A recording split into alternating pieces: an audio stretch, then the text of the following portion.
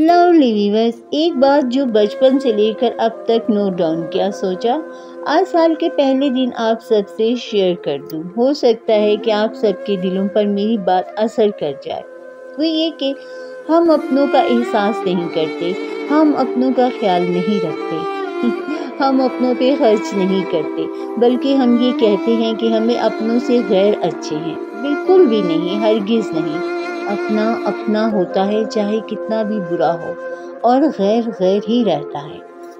याद रखिएगा ये बात।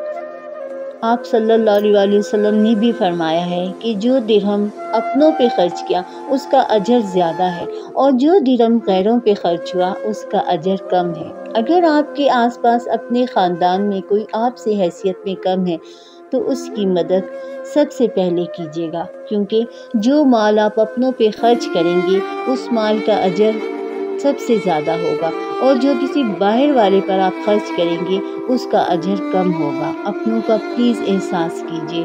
हर नए साल के आने पर हम सब ये अहद करते हैं कि हम इस साल अच्छा बनकर दिखाएँगे, अपनों के साथ अच्छा करेंगे, रहम के रिश्तों को कता नहीं करेंगे, क्योंकि जो रहम के रिश्तों से कता करता है, वो अल्लाह ताला के ज़ालिम लोगों में शुमार हो जाता है। तो हम क्यों ज़ालिम बने?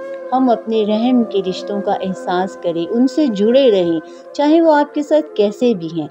और अगर आपसे हैसियत में आपका कोई अपना बहन भाई कम है तो प्लीज़ उसकी मदद कीजिए। इससे पहले कि वो दुनिया से चला जाए और बाद में आपको एहसास होता रहे कि आप उसकी मदद के लिए क्यों नहीं गए थे। दूसरों की मदद भी कीजिए, गैरों के लिए भी दिल बड़ा कीजिए। क्योंकि हमने अपना सब कुछ छोड़ के चले जाना है।